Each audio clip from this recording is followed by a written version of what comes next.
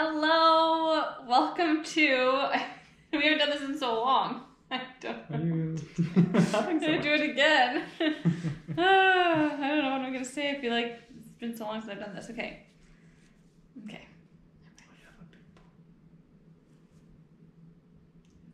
There. Oh. Okay. Ready?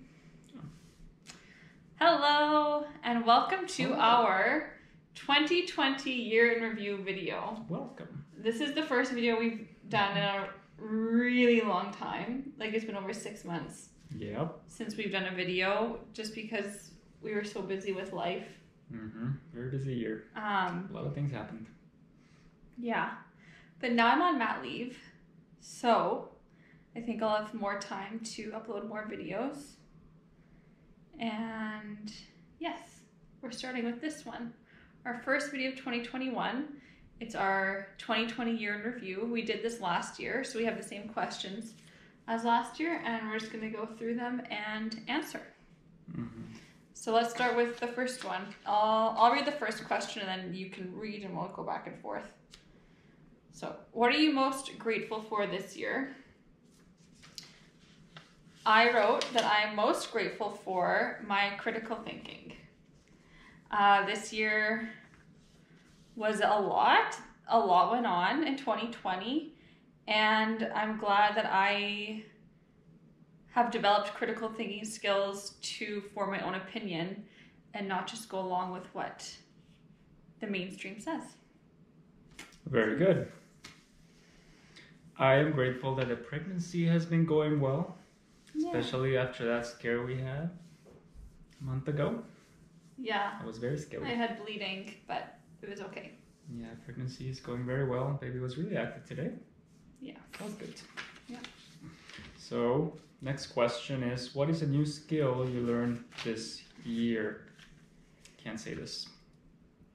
I told you that you're didn't gonna. know it was going to be a video. I okay. We did these questions yesterday. We were answers, and he wrote his answer. I was like, "Well, you can't. You're gonna say that on camera," and you were like, "Yeah." No, I didn't hear you. okay, what is a new skill I learned this year? I learned how to renovate a condo. yeah, a lot of home renovation skills. yeah, a lot of home renovation skills. That's for sure. Like I'm so much more comfortable with doing work around uh, a building, a home, or whatever. Yeah, just like little little jobs around the house. hmm and with tools. A new skill that I learned this year is calligraphy. I got a calligraphy book from Costco and I've been learning it and I like it. Great. What movie came out this year that you enjoyed? we struggled hard with this one because one, you know, a lot of movies were postponed this year, and two, we just didn't watch a lot of stuff this year. We've just been too busy doing other things. Yeah, and usually we would like watch releases on I don't know pirate websites like Mira de Todo or something, and we didn't didn't do that this year. No, we haven't been, I don't know, watching a lot. Um, I did go and see After We Collided, which is the sequel to After, which is a romance. And I really liked that. So that's my answer. Yeah, what my favorite movie that came out this year? I really tried. I looked not like nothing, Nothing. zero. But I'll give an honorable mention to a movie. My favorite movie of the year was um, this Ghibli movie, the what's the name? The one in the sky. Don't remember Castle in the the Sky? Castle in the Sky. Really like the movie That's your favorite movie that you watched this that year I watched this year. Yeah. for the first time. hmm Okay, what is a New Year's resolution you have? Okay, I just have eat something very simple. Eat less sweets. Is that meaning a lot of sweets? Eat less swats? It's too easy. It's just That the is first not- the first is really weird. okay. Um, my New Year's resolution this year is take it day by day. I think being a new mom is going to be overwhelming, and I just need to think, take things day by day and just take it easy, one day at a time. Um, next, what new technology came out this year? I wrote Oh yeah, the new iPhone. Sure. Because like that was relative to us. You got the new iPhone. I did. Well, a new technology was the new Apple chips for the Macs. That was really important. It's really important, I think. Okay. Uh, what was your all-time favorite moment this year? My all-time favorite moment was finding out that Sara was pregnant. It's a great, great moment, and it's all on a recording. It's all on YouTube. Yeah. I don't think I've. I think it's still set up as private. I have to make that on private. What was your all-time favorite moment this year? I think I have this answer for something else as well, but maybe not. Um, telling people I'm pregnant. So, like sharing that news. All, like every time, every moment I told someone I was pregnant, that was really special and exciting. I liked that. Always exciting. What was your favorite song this year? So when we were answering this question, we were talking about how like we didn't really listen to a lot of music this year. Like typically, I listen to audiobooks and podcasts uh, in my downtime. So my favorite song, like as a new release song this year that I liked that came out was the Harry Styles song. I don't know the title. Watermelon Sugar, Watermelon Sugar High. Yeah, I think it's watermelon sugar. I like that. It's a good song. It's a great song. Yeah, I don't didn't have one favorite song. I didn't have one that I was like going back to over and over, so I didn't know what to say. The one that stood out for me was "I Wish You Were Here" by Incubus because I listened to it a lot. I think I have it in my head that I listened to it a lot this year. Mhm. Pretty sure it was high on my Spotify list. Yeah. Next. Next, what made you laugh the hardest this year? So, uh, we were playing, this time we were playing cards with Sara's family, and one family member ripped up the loud one, not the loudest, it was just the longest part.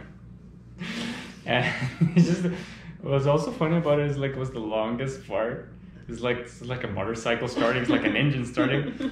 And then like everyone ha- acted like nobody, nothing happened. we just kept playing. and I was just laughing my ass off. Yeah, he like got a laughing attack. Like he would not stop laughing. Yeah, because nobody reacted to it. It was just this long like rip. just like what the hell. Nobody said anything. My what made me laugh the hardest this year is kind of a like it you had to be there moment, and it's probably just because like my family and my sister, you weren't there, but my family and I, me, my sister, my mom, my my dad, and my brother-in-law, we were driving around Winnipeg to see the Christmas lights, and my dad was just like in a really crappy mood. He was really grumpy. And the only time throughout the drive when he was like nice and calm and not really saying anything was when he was drinking Starbucks Frappuccino. So my sister and I started referring to it as his baba, like his bottle. So we were teasing him, saying like you needed another baba, and because after the drink was gone, he was all grumpy again. And anyway, I was crying laughing. We were crying laughing. What one word would sum up this year for you? Definitely pregnancy. And that's a positive word to sum up 2020. One word that sum up this year for me is sheep. People are so such sheep. I couldn't believe it. It's Yeah. all sheep all around us. And I think that's going to come up again. Yeah. Okay, next question. What embarrassing thing happened to you this year? So, I had a really big sleep on the ice. I was going into work and like there was some ice on the sidewalk right next to the entrance, and I was just rushing in. So I stepped really hard, and my feet just went up into the air, just flying upwards, and I hit myself really hard in my hip. And I was a little embarrassed, but not too much. Yeah. It's fine. Yeah, it was actually hard for me to find something like I don't get embarrassed easily. Uh, so what I wrote was I got told off at work for talking too much. Yeah. So that was a little embarrassing, but I mean, I talk a lot. You too. Uh, what is something hard you did this year? I wrote two things. so one, which is silly, but it's true, was giving up wine. Obviously, I'm pregnant and I can't drink, and giving up wine.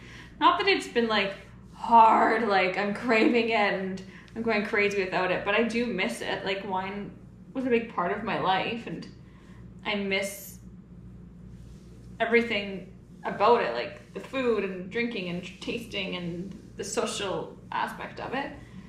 And another hard thing, like the scariest thing, the hardest thing was when I went to the women's hospital, which you talked about before. It's because I had bleeding. Luckily, everything was okay, but that was really hard and difficult and scary to go through. That's really hard. Scariest moment of the year for sure. Mm-hmm. The hardest thing I did this year was renovating this entire condo. Mm-hmm. A lot of hard work, a Mm-hmm. lot of time, dedication, learning. It's very hard. What was the best advice you received received this year? Uh, I don't know. I didn't know what to put for this question. Mhm. I just remember something I read on Twitter was just turn the TV off. Just, you don't need to listen to the news or hear anything. Just turn the TV off. Yeah. It's white noise. Um, same. I this was a hard one for me too. Like the best advice I received, I think.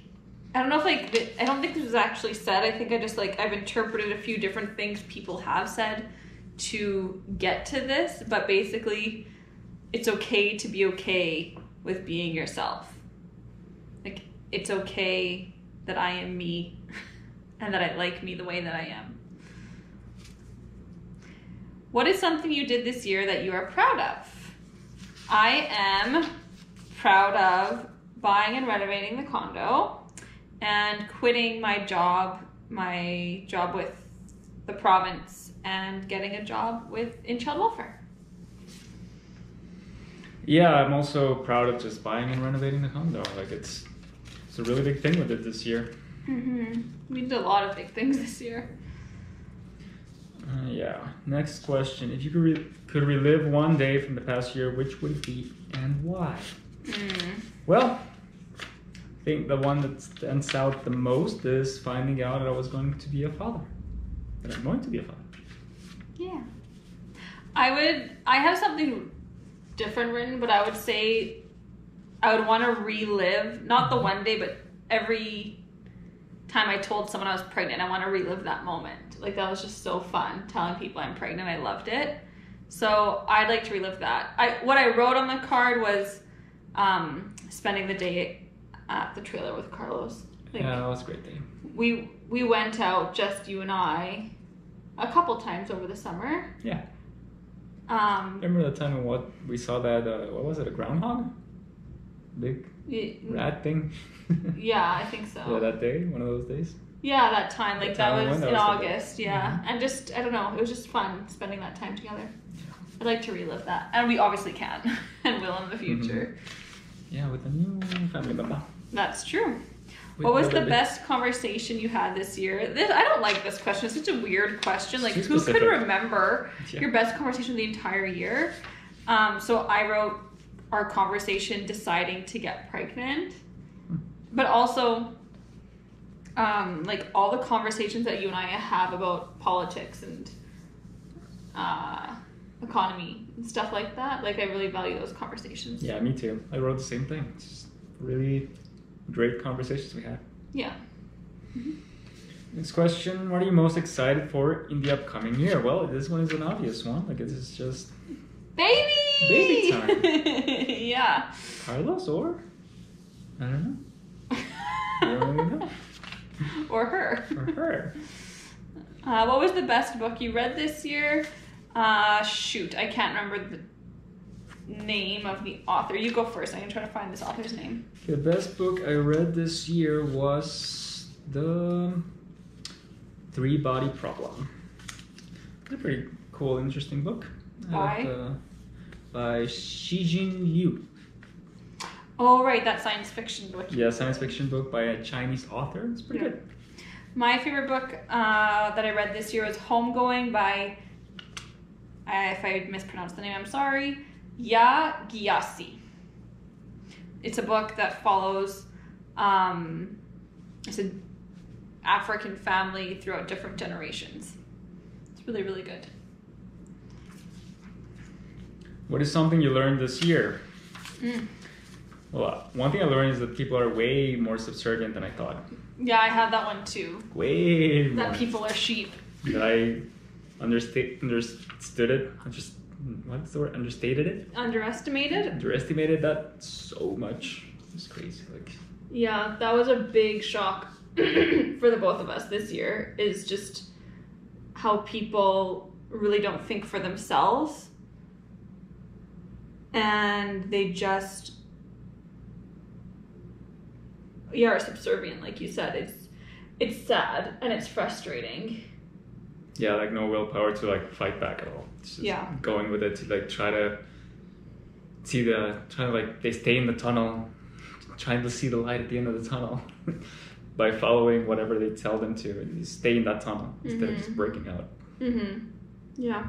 I also wrote fertility. I learned a lot about fertility this year because it's actually kind of, I think, sad the right word? Wrong. That as a 20 year old woman, before this year, I really didn't know how fertility worked. Like, I think that's something that we should be taught. And maybe maybe I was taught in high school and, like, I just don't, I didn't retain that information. I, I just feel like this how a woman gets pregnant is something we should all know. It's something that we should be taught and understand. Um, What didn't you know? I didn't know that, like, the about the fertility window and how long the egg is there and how long the sperm could live inside. I'm sure you, someone Inside should have me. told you that. I don't think they did. I mean, I'm not. I don't have the best memory in the world, but I don't think I knew that. And anyway, and I also started learning Portuguese. Good job. What big event made headlines this year in the news? Like, obviously, COVID 19. Fuck this year. Yeah, I wrote down the BLM riots. Yeah, you could choose the election, whatever. yeah. Last one. What is something nice you did for someone this year? Yeah. I helped Dave and uh, Christian buy some Bitcoin. You set them up Set them up. with their accounts, yeah? I wrote cards to my friends during the terrible, terrible times of COVID to tell them how much I love them and appreciate them and miss them. And I thought that was nice. It's very nice. Yeah. So that's it. That's our 2020 in review. So Are we gonna be doing this every year? why not? I'm asking. Maybe We're gonna we'll have- see. Whole compendium of years in review That would be cool. to leave for our grandchildren. That would be cool. Why not? Alrighty. Well, thanks for watching and see you in the next video. Bye bye. Bye.